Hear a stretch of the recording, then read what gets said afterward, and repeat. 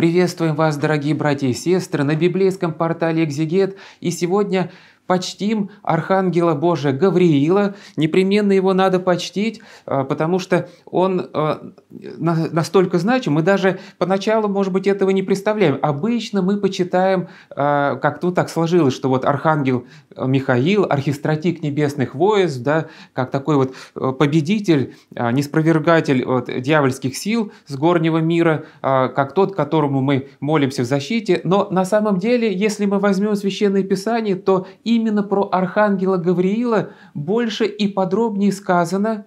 А это единственный ангел, ну, почти единственный, все-таки там есть еще вот Рафаил, который говорил про себя тоже. Да, и, кстати, Рафаил в книге Тавита говорит, что я один из семи духов, то есть семи ангельских семи высших ангелов, которые приносят пред Богом молитвы людей. И вот мы верим, что а, Архангел Гавриил, он тоже один из этих семи высших ангелов, как и Михаил, который вообще первый ангел. Но вот Гавриил, он в том числе говорит нечто и о себе. Он говорит, «Я говорил предстоящий пред Богом», возвещает он Захаре, «и послан говорить с тобой и благовестить тебе сие». А, да. И вот не надо думать, что он просто вот, ну, какой-то такой вот э, ничего не значащий вестник, да, который просто вот пришел, что-то возвестил. Само имя Гавриил означает крепость Божия, мощь Божия. И мы видим, как он, э, ну, конечно же, вот по воле Божией, какую он проявляет строгость, э, взыскивая, так сказать, вот Захарии, отца Иоанна Крестителя, за его неверие, да, а, тот наказан немотой, то есть когда нужно, ангелы, они могут даже достаточно строго так наказывать. Вот. А, вообще в целом о архангеле Гаврииле а, целых четыре текста в Священном Писании, и это много, а, если говорить вообще, ну, сравнивая с другими ангельскими силами. И когда мы приходим в храм, то что мы видим? Мы видим иконостас, а в центре иконостаса мы видим царские врата, а на царских вратах что изображено? Вообще, почему они царские? Царские, потому что сам Царь Славы, Господь наш Иисус Христос на литургии э, проходит через них в святых тайнах, да, в дарах Евхаристии люди причащаются. Вот на царских вратах, конечно же, изображаются четыре евангелиста, благовестие, но в центре все-таки икона, образ Благовещения Христова, потому что Благовещение – это как бы есть то, что вот более всего выражает благую весть, то есть Евангелие. Евангелие переводится как благая весть, а праздник Благовещения, он отражает самую суть этого, и это ведь праздник Архангела Гавриила. Он изображен на царских вратах, да, то есть он как бы тоже приблизился вот к этому центру а, всех а, таинственных судеб мира, потому что в центре именно воплощение Господа Бога ради спасения людей, ради жертвенной смерти а, и воскресения. И вот именно Гавриил, он созерцает эти удивительные тайны, он изображается, есть такая вот древняя икона, ангел золотые волосы, да, как образ такого сияния его, благодатью Божией, потому что золото в иконографии – это образ божественной благодати. Он причастник высочайших божественных тайн. И вот символ чего – это еще и в данном случае. А, символ того, что Гавриил, он сподобился от Господа особого тайнозрения, да, то есть как вот особое доверенное лицо, которое не посылается в наш мир для сообщения удивительных и чудных тайн. И вот мы упоминаем благовестие прежде всего Иоанна Предтечи, да, а затем и благовестие Девы Марии. А почему? Потому что Иоанн Предтечи – это как бы вот все, это э, запечатление ветхозаветных пророчеств и начало новозаветного откровения. А, а Деве Марии уже он благовествует самую э, такую вот страшную действительно тайну, которую не могут постичь другие ангелы, и другим ангелам это не было открыто, тем более бесы, демонические силы, они не могли даже сподобиться и близко таких откровений и знаний, а вот архангел Гавриил он именно это и благовествует. Мы читаем, что когда он не сходит к Деве Марии, он говорит «Радуйся, благодатная, Господь с тобою, благословенна ты между женами». И, конечно же, по смирению она поначалу не может понять, о чем идет речь, Архангел Гавриил тогда вновь говорит, «Не бойся, Мария, ибо ты обрела благодать у Бога, И вот зачнешь в чреве и родишь сына, и наречешь ему имя Иисус. То есть он благовествует, архангел Гавриил, рождение Спасителя. То есть это вот а, самое таинственное, самое сокровенное, самое значимое во всем божественном откровении. Именно он это благовествует. И архангел Гавриил предсказывает о Христе, Он будет велик и наречется Сыном Всевышнего, и даст ему Господь Бог престол Давида, отца его, то есть именно Он, а, в нем исполнение ветхозаветных пророчеств, и он станет подлинным царем, как было обещано Давиду, и будет царствовать над домом Иакова вовеки, и царство его не будет конца. Гавриил возвещает именно небесное, вечное, бесконечное царство. И, конечно же, а, именно Гавриил, он свидетель смирения Девы Марии. А, она спрашивает, как будет это, когда я мужа не знаю. И вот то, что мы читаем дальше, говорится нам, что именно Архангел Гавриил из всех остальных ангельских сил он выделен вот этим, этой особой Божьей милостью, потому что он благовествует а, вот самую сокровенную тайну. А, повторим, что э, вот бесы этого в принципе не знали, люди, конечно же, не могли понять, но даже и другим ангелам этого не открывалось. Дух Святой на, найдет на тебя, и сила Всевышнего осенит тебя. Посему и рождаемое святое наречется Сыном Божьим. То есть Он благовествует фактически, Он является зрителем, созерцателем самой главной тайны Священного Писания, вообще Божественного Откровения, вообще всей истории человечества и Вселенной. Это какая главная тайна? Это воплощение Бога, то есть что Господь а, неизреченный, невыразимый, неописуемый, которого мы не можем никакими красками, ни в каких пределах никак очертить, он становится ограниченным, в пределах вот чувств, положенным а, человеком, маленьким младенцем, да, в едином лице, Бог и человек. И вот именно эту тайну созерцает архангел Гавриил, а, и, конечно же, Пресвятая Дева отвечает, «Э, э, вот раба Господня, да будет мне по слову твоему, и отошел от нее ангел, то есть когда он засвидетельствовал вот это вот смиренное принятие Девой Марии воли Божией.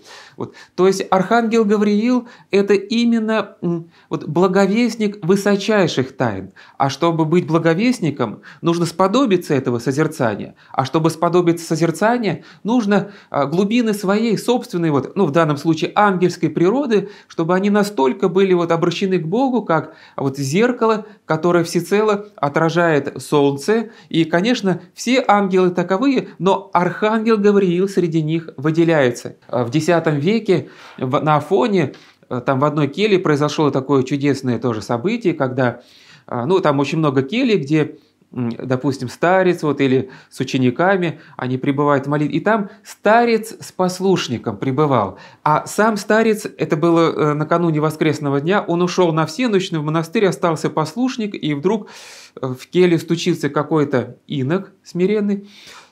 Послушник открывает ему, и они вместе молились. И вот в конце этого моления послушник читает, как положено, честнейшую Херувим и славнейшую без сравнения Серафим, без истления Бога Слова росшую, сущую Богородицу, тебя величаю. Вот если посмотреть, основные чинопоследования монашеские, они заканчиваются вот именно э, такие слова.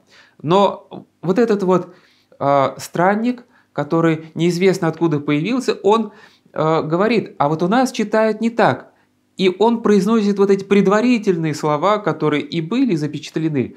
«Достойно есть яко воистину, блажите Тя Богородицу, присно блаженную и пренепорочную, и Матерь Бога нашего».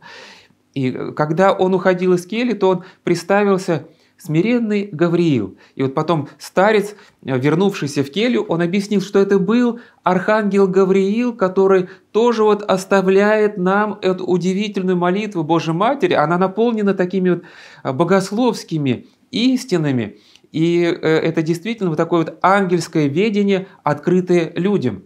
Архангел Гавриил он, почему он является именно вот в Новом Завете? Да потому что и в Ветхом Завете именно он благовествовал, вот он благовествовал пророку Даниилу, открывал удивительные тайны, которые касались последних судеб мира. Вот все любят рассуждать об этих последних судьбах, там вот страшиться, пугать друг друга. Ну, действительно, там есть чего испугаться. И архангел Гавриил, он являлся пророку Даниилу, и там мы что читаем? Что поначалу самому Даниилу даны были какие-то вот видения, которых он не мог понять. И там какой-то вот овен с рогами, там один рог возвышается, и ведет он себя надменно, потом какой-то козел, который его попирает, и там еще чего-то, и какие-то вот странные процессы происходят. И вот а, а, он пишет, «Когда я, Даниил, увидел это видение и искал значение его, вот стал предо мною как облик мужа, и услышал я от средины Улая, Улай – это в данном случае река,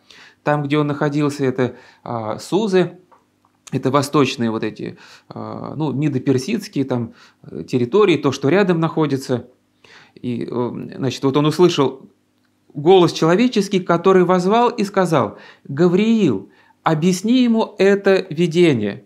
То есть вот это впервые, когда упоминается архангел Гавриил, и он подошел к тому месту, где я стоял, и когда он пришел, я ужаснулся и пал на лицо мое.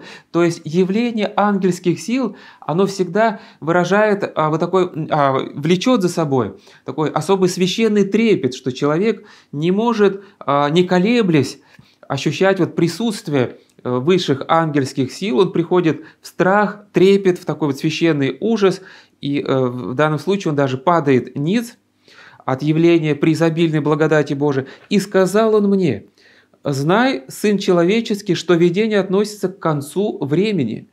И, и когда он говорил со мной, я без чувств лежал лицом моим на земле, но он прикоснулся ко мне и поставил меня на место, на место мое и сказал, вот я открываю тебе, что будет в последние дни гнева, ибо это относится к концу определенного времени. Ну, там вот именно определенное время, это еще не совсем, так сказать, вот уже крайние, так сказать, вот, а, года нашей истории, это то, что а, вот после Даниила э, различные там он объясняет, что там вот эти Авенда, козел косматый и так далее, то там царь Медийский и Персидский, там и царь Греции, потом четыре царства, которые сменяли друг друга. Мы знаем, что многие такие цари, они вели себя надменно, беззаконно и противоборствовали в том числе и богоизбранному народу. Но вот в том числе там и есть некоторые откровения, они проглядывают. То есть Архангел Гавриил предвещает и нечто о вот эсхатологических судьбах, то есть о самых последних временах. И что же он говорит, что э, под конец же царства их, когда отступники исполнят меру беззаконий своих, восстанет царь наглый и искусный в коварстве, и укрепится силой хотя и не его силою, а, понятно, а, силой дьяволу, и он будет производить удивительное опустошение, и успевать, и действовать, и губить сильных, и народ святых. А, и при уме его и коварство будет иметь успех в руке его, и сердцем своим он превознесется. Речь идет, конечно же, про Антихриста, а, который дьяволовой силой будет искушать, обольщать народы, превознесется, и среди мира погубит многих и против владыки владык восстанет. Да? То есть а вот о чем предвещает Архангел Гавриил. Ну, в общем, все, что мы э, знаем, конечно же, из Откровения, о последних временах. Это вот началось еще с откровения Архангела Гавриила. И что же самое главное? Понимаете, мы, конечно, можем много тут вот фантазий своих человеческих а, прибавляет. Но мы не будем этого делать, потому что Архангел Гавриил открывает главное, что вот да, против владыки владык восстанет, но будет сокрушен. Не рукою. А, видение же о вечере и утре, о котором сказано истина, но ты сокрой это видение, ибо оно относится к отдаленным временам. То есть, а, конечно же, все это будет, но Антихрист будет сокрушен и не рукой человеческой. Вот как святитель Игнатий Бринчанинов в свое время писал, что э, отступление умножилось и будет возрастать, И вот не покусись остановить его своей немощной рукою, потому что иначе просто это тебя все сметет, и ты и мир не спасешь, и самого себя погубишь. Ты вот наблюдай за собой, самого себя созидай, в своей собственной душе устраивай царство Христово, царство Божие, и тогда избежишь царства Антихриста. Если над тобой не будут владеть а, греховные страсти, которые нас э, искушают ежедневно, то как тебя, как тобой завладеют а, Антихрист? Антихрист – это слуга сатаны. А раз он слуга сатаны, то ты сам не будь рабом сатаны, и тогда избежишь царства Антихриста. Тот, кто побеждает искушение вражие, тот окажется выше и этих антихристовых каких-то искушений, потому что благодать Божия прибудет с таким христианином. И вот дальше а, архангел Гавриил, он еще раз а, является пророку Даниилу, когда тот молился и очень смиренно каялся, исповедовался в грехах своих и грехах всего, всего народа, то вот после такой пространной молитвы, это 9 глава пророка Даниила, читаемый, а, и там сказано, «Когда я еще продолжал молитву, муж Гавриил, которого я видел прежде в видении, быстро прилетев, коснулся меня около времени вечерней жертвы». Да, то есть то время, ну, сам Даниил, конечно, а, находился очень далеко от Иерусалима, но это вот то время, когда обычно совершались жертвы. Но сейчас-то все, конечно, в пленении, все было порушено, но времена эти помнились, в какое время совершались богослужения, молитвы при храме. И вот в это именно время является архангел Гавриил и вразумлял меня, говорил со мной и сказал, «Даниил, теперь я исшел, чтобы научить тебя разумению». Вот это, кстати, очень важные слова, что именно Архангел Гавриил способен тоже даровать определенное разумение Божьих тайн разумение священного писания. И а, ведь он и в Ветхом Завете, да, вот и в Новом Завете он соприкоснулся с самыми а, главными тайнами, да, то есть а, такой вот а, тайна из тайн, которая открыта в Библии, вот это благовествовал Гавриил, и поэтому он может нам помочь все это уразуметь. И значит, ему мы должны молиться, Архангелу Гавриилу, чтобы он просветил наш ум знанием Священного Писания, чтобы мы не фантазиями, да, не какими-то мечтаниями, не страхами человеческими были движимы, а мы все-таки э, духом Слово Божие воодушевлялись каждый день, и пусть нам поможет в этом святой Архангел Божий Гавриил. Вот он э, продолжает что э, я и шел, чтобы научить тебя разумению. Э, в начале моления твоего вышло слово, и я пришел возвестить его тебе. Э, и вот дальше именно Архангел Гавриил возвещает 70 седмин. Все, конечно, слышали, что в Ветхом Завете про это говорилось, про 70 седмин, которые будут предшествовать Христу. И а, вот именно Гавриил, архангел, это возвестил пророку Даниилу. «Семьдесят седмин определены для народа твоего и святого города твоего, чтобы покрыто было преступление, запечатаны были грехи и заглажены беззакония, и чтобы приведена была правда вечная, и запечатаны были видения и пророк, и помазан был святой святых». То есть именно архангел Гавриил, он и в Ветхом Завете все это прозревает, Господь ему дает а, открыть это людям. А, что именно? То, что пройдет определенный срок. Вот а, ветхозаветный богоизбранный народ, он наказуем за свое отступление, и вот нужно некоторое время для покаяния, для смирения, чтобы покрыты были преступления, сказано, запечатаны грехи, но и тут же, как бы, понимаете, это предвозвещение о Христе, который прольет кровь свою, чтобы заглажены были беззакония и чтобы приведена была правда вечная. Ибо только во Христе мы получаем все подлинные оправдания, а человек оправдывается только во Христе, ибо во Христе человек соединяется с Господом Богом. А, и, а почему сказано, чтобы запечатаны были видения и пророк? Ну, то есть вот эти ветхозаветные откровения, закон Моисеев, как а, видение, да, и пророк, то есть пророческие предвестия, они запечатываются, то завершаются к моменту явления самого Христа, и поэтому Иоанн Креститель, это есть как бы вот эта печать пророков, а, последнее все. А, после него уже нет, ибо он как бы от лица всех ветхозаветных пророков встречает Спасителя и говорит, вот Агнец Божий, который берет на себя грех мира.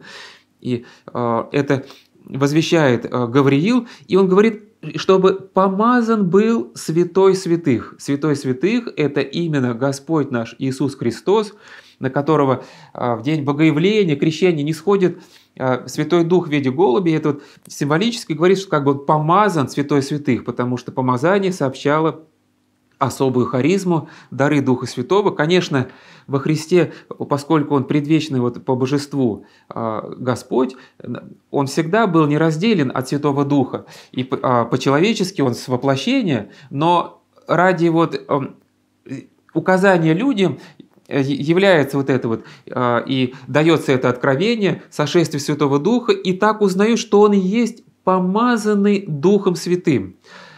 Итак, знай и разумей, продолжает архангел Гавриил, с того времени, как выйдет повеление о восстановлении Иерусалима, вот это просто э, удивительные откровения, и странно, что еврейский народ не внял этому и э, плохо считали, а может быть и не хотели считать, больше считали свои шаги в субботу, да, а, приглядывали, как бы кто там а, в субботу чего не сделал, да, вот апостол, они там растирали зерна на поле, да, вкушали в день субботний, вот, мол, нельзя, и мелочно все считали, считали, а посчитать седмины Даниила а, не захотели. Так вот, и сейчас странно, что еврейский народ как бы мимо проходит вот этих откровений, а ведь это Ветхий Завет, тогда говорится, с того времени, как выйдет повеление о восстановлении Иерусалима, до Христа Владыки семь седмин и шестьдесят две седмины. И возвратится народ, и обстроятся улицы и стены, но в трудные времена.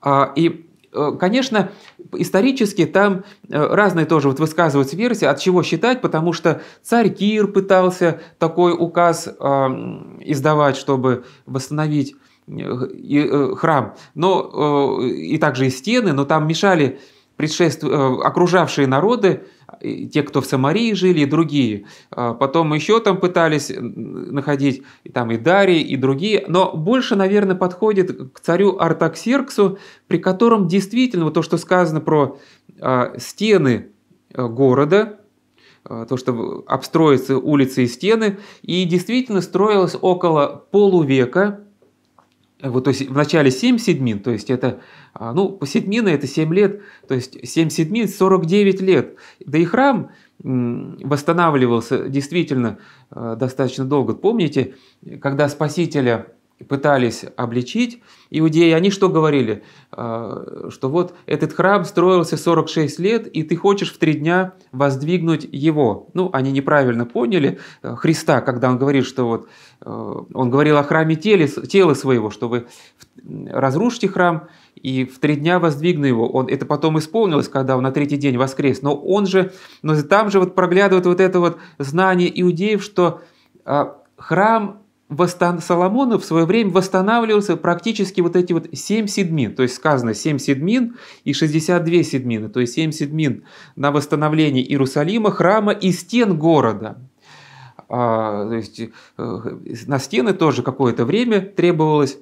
А после этого уже 62 седмины, то есть 7 лет, и вот так вот 62 раза, кто хочет, может взять калькулятор, посчитать, а, но э, это целом как раз выпадает на, на эпоху уже Господа Иисуса Христа. Кто-то пытается подтянуть как бы к Рождеству, но больше, наверное, это уже ко времени страданий Христовых и его воскресения, а может быть общественной проповеди. Ну, 2-3 года сейчас мы не может иметь речи, потому что сейчас очень трудно высчитывать вот детально хронологию той эпохи, но в целом все признают, что вот в таком в эпохальном смысле это совпадает со временем жизни Господа Иисуса Христа. И вот там сказано еще удивительная вещь, что говорил, предсказывал. И по истечении вот этих 62 седмин после восстановления храма предан будет смерти Христос, и не будет, а город и святилище разрушены будут народом вождя, который придет,